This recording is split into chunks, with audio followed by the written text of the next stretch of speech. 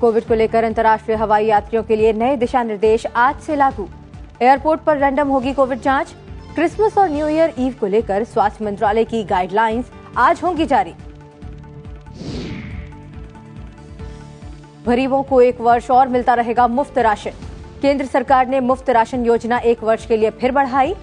इक्यासी करोड़ पैंतीस लाख लोगों के मुफ़्त राशन पर खर्च होंगे दो lakh crore. One rank one pension के प्रावधानों में संशोधन के प्रस्ताव को मंजूरी।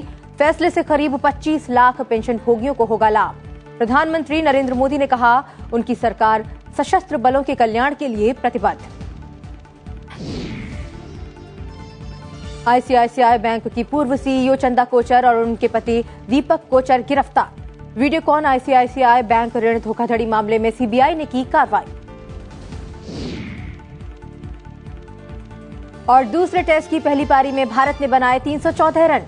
ऋषभ पंत ने तिरानवे और श्रेयस अय्यर ने खेली सतासी रनों की पारी। बांग्लादेश पर पहली पारी के आधार पर सतासी रनों की बढ़त की हासिल।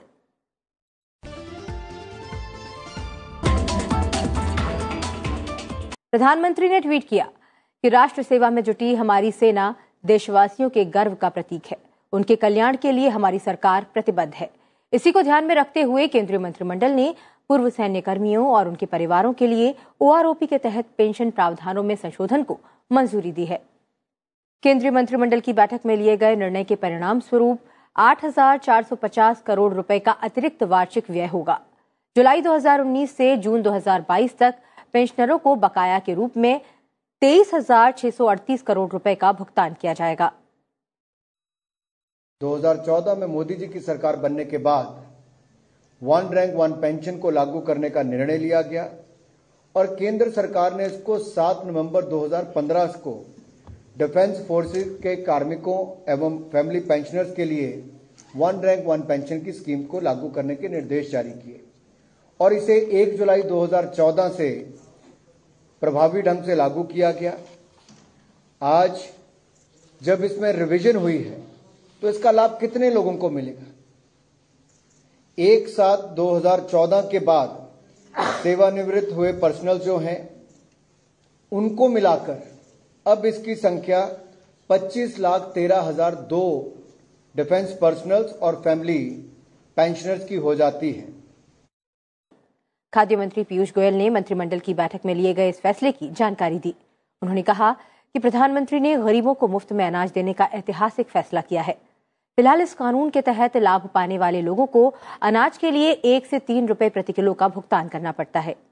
सरकार का ये फैसला उस समय आया है, जब प्रधानमंत्री गरीब कल्याण अन्य योजना की अवधि 31 दिसंबर को खत्म होने वाली है। कोविड 19 महामारी के दौरान गरीबों को मुफ़्त अनाज बांटने की शुरुआत अप्रैल 2020 में की गई थी। हम सब जानते हैं कि केंद्र सरकार राष्ट्रीय खाद्य सुरक्षा एक्ट के अनुसार जो अनाज लोगों को देती है, उसके लिए चावल पर तीन रुपए, गेहूँ पर दो रुपए और मोटे अनाज पर एक रुपए, हमारे गरीब भाई बहनों को भी भुगतान करना पड़ता है। अब माननीय प्रधानमंत्री जी ने एक ऐतिहासिक फैसला ये लिया है कि नेशनल फ़ूड सिक्योरिटी एक्ट के अंतर्गत जो गरीबों को अन्न सुरक्षा दी जाती है, खाद्य सुरक्षा दी जाती है, ये अब मुफ़्त में, पूरी तरीके से मुफ़्त में लोगों को उपलब्ध कराई जाएगी देश भर में। केंद्रीय स्वास्थ्य मंत्री मनसुख मांडविया ने राज्यों और केंद्र शासित प्रदेशों को ऑक्सीजन संयंत्रों, वेंटिलेटर, रसद और मानव संसाधनों पर विशेष ध्यान देने के साथ ही बुनियादी ढांचे की तैयारी सुनिश्चित करने के लिए 27 दिसंबर को सभी स्वास्थ्य सुविधाओं में मॉक ड्रिल करने की सलाह दी। उन्होंने कहा कि केंद्र और राज्यों को सहयोगात्मक भावना से काम करने की ज़रूरत है, जैसे पहले भी मिलकर सबने महामारी से मुकाबला किया है। इस टीके में किसी तरह की सुई का इस्तेमाल नहीं होगा और इसे नाक से दिया जाएगा। ये निजी केंद्रों पर उपलब्ध होगा। चीन और कुछ अन्य देशों में कोरोना वायरस के संक्रमण के बढ़ते मामलों के बीच इस टीके को मंजूरी मिली है। इस बीबीवी एक सौ चौवन टीके का 18 वर्ष से अधिक उम्र के लोगों के लिए बूस्टर खुराक के तौर पर इस्तेमाल करने के लिए भारत के औषधि महानियंत्रक ने नवंबर में मंजूरी दे दी थी। श्री स्वामी नारायण गुरुकुल राजकोट संस्थान की स्थापना वर्ष 1948 में राजकोट में गुरुदेव शास्त्री जी महाराज धर्मजीवन दास जी स्वामी ने की थी।